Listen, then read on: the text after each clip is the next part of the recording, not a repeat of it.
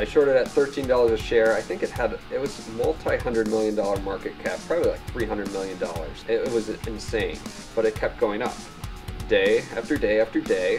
One day the stock went from 23 to 28, uh, but ended up losing somewhere between 90,000 and 100,000 dollars on that.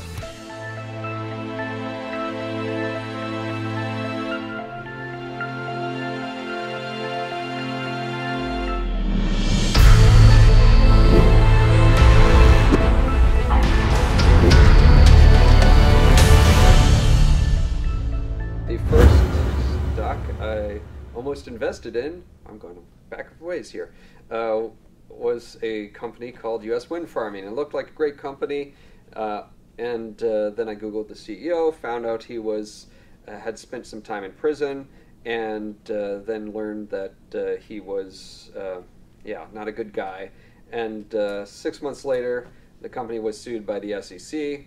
The SEC alleged that everything the company had said was a lie, and that they were they had no contracts that they had said they had. They uh, had no real business, and that they were just uh, the SEC alleged that they were just uh, promoting their stocks so that they could sell shares. And uh, that from that from that beginning, I said, okay, well, this is interesting. I mean, understanding how per- stock promotion works. It's like, okay, well, somebody's promoting the stock because it's not a good co- uh, company, it's not a good stock. They have a lot of shares that they want to sell. So that tells me the uh, supply and demand, that there's more supply than there is demand. And if I can just get along the right side of that trade, if I could short these things, that would be great. And it wasn't until a couple years later that uh, I learned that you could short those. And that was after I had tried many different kinds of trading and uh, done uh, all sorts of different things that didn't work options trading, trading liquid stocks like Apple, uh, just scalping for pennies. And uh, then I did some algorithmic swing trading, which required doing a lot of trades with small positions, got an account at Interactive Brokers. And uh, then randomly in the summer of 2007, I looked up one uh, promoted stock uh, that I saw mentioned in, uh, I think it was Forbes, uh, and this uh, the Forbes Informer uh, column, and I said, hey, I wonder if I can short this. So I didn't think you could actually short OTC stocks. I uh, looked it up, typed it into Interactive Brokers, and found out I sh- could short it. So I shorted it.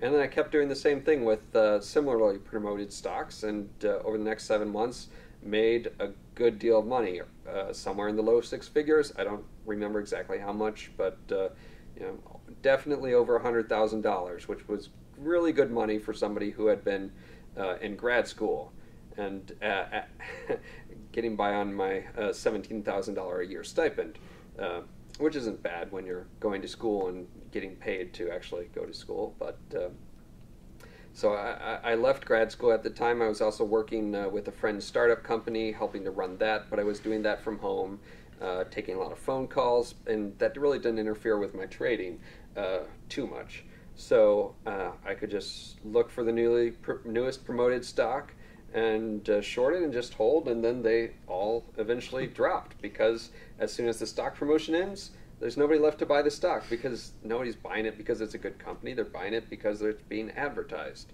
And uh, then I found, uh, and what I kept doing is I kept buying, uh, taking bigger positions and bigger positions, uh, all my profits from the last one and put into the next one. And uh, that's a great thing if you want to grow your capital really fast or risk, you know, destroying your entire account.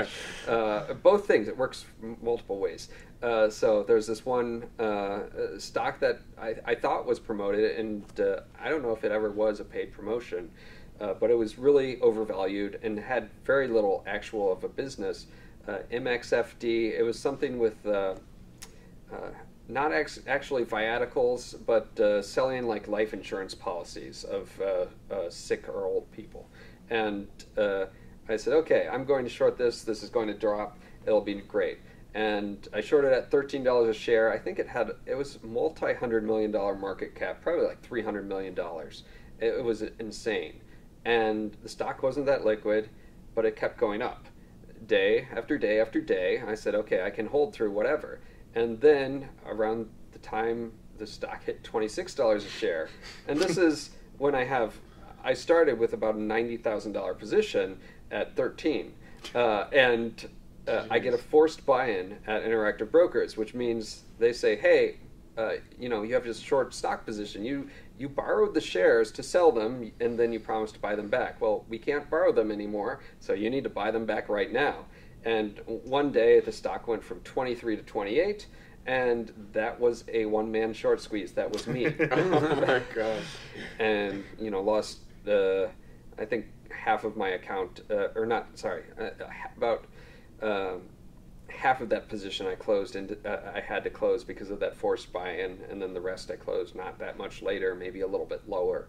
Uh, but ended up losing somewhere between ninety thousand and hundred thousand dollars on that, uh, which you know is a little painful and uh, that was also the time that I, uh, right around the time I quit my uh, day, so-called day job, which wasn't really making much money, but I quit that to go trading full time, which was a bit of a, you know, bummer to start with such a negative thing.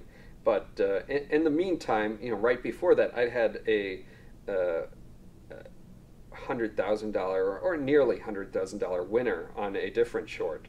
it was uh, it was actually a real company, not even a promoted stock. I don't think it was just wildly overvalued and way overextended. Uh, called LSCG Lighting Science Group, uh, and they're still around. I think they might be on the Nasdaq uh, now. They make LEDs, uh, but uh, anyway, lost money on that one, and then I said, okay, I need to get more.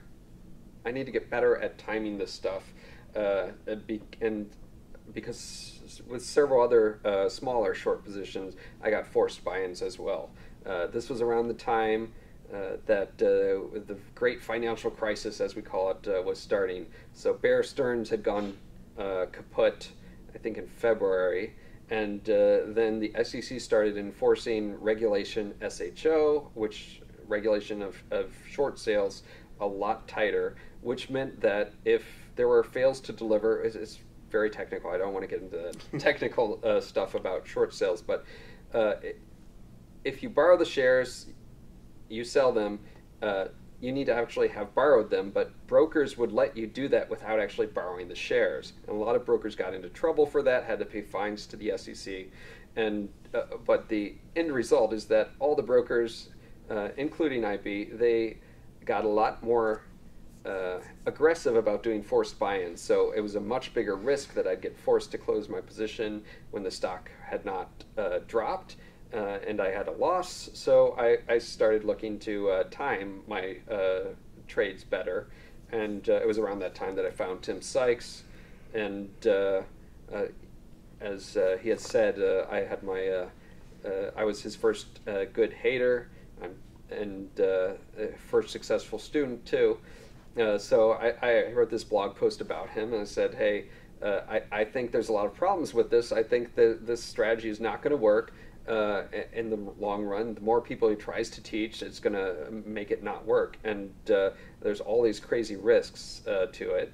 But uh, you know, I gave it a try anyway. I bought his book and signed up for Tim Alerts and bought his first DVD, Penny Stocking.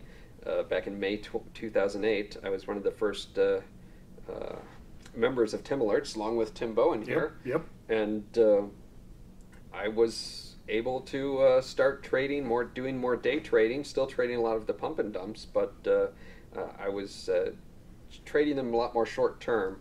Uh, with a shorter time horizon and avoiding a lot of the risks of the forced buy-ins that I had uh, been uh, trading. Hey, Tim Sykes, Millionaire Mentor and Trader. Thank you for watching my videos. I hope that they help you. I want to share everything that I've learned over the years. You can check out more videos right over there. And also click subscribe so that you can watch all of these videos, get that knowledge, and become my next millionaire student.